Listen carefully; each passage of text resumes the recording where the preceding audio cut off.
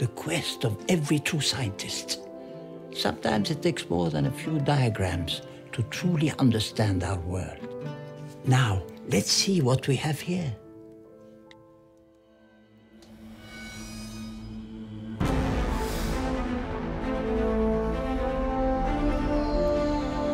One thousand years before your birth, a great civilization spread across the earth.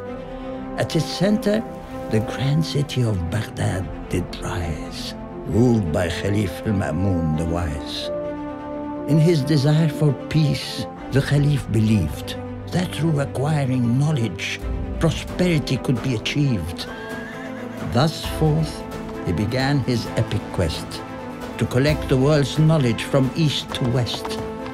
Ancient books from Greece, Egypt, and Persia were collected. Wisdom from China, Africa, and India into Arabic translated. From around the globe came many women and men of different faiths and cultures in harmony then. Across the land, they built houses of wisdom and excellence, inspiring 1,001 inventions and brilliance. For hundreds of years, working together, they learned and spread what would help change the world forever.